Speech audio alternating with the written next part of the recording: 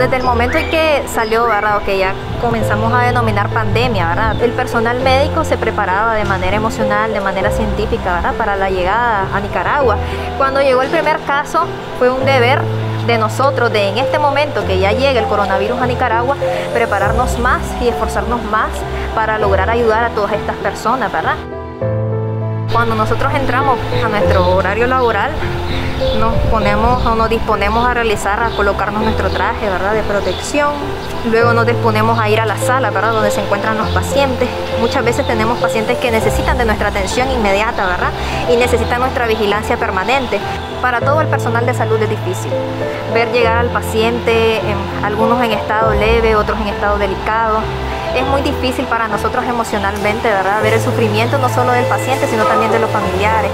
Es difícil porque también nos sentimos agotados, pero es algo que también nosotros hacemos el esfuerzo, ¿verdad? Es indescriptible, pues la satisfacción que siente el personal médico, que siento como médico, ¿verdad?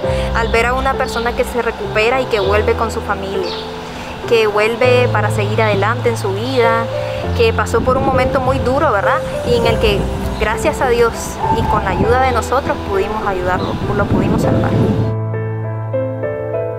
Cuando vengo aquí a la unidad de salud, en muchas salas, la mayoría de nosotros hacemos una oración grupal, ¿verdad? Entre el personal de salud, enfermería, médico, todos los que nos encontramos ahí, incluso pacientes, ¿verdad? Se nos unen a la oración y pedimos, ¿verdad? Pedimos que nos dé fuerzas, que nos ayude a salir adelante, que nos dé sanidad, no solo al personal médico, sino también a los pacientes, a sus familiares y prácticamente a toda Nicaragua porque es algo muy importante y es algo que nosotros lo hemos tomado como una práctica en el día a día.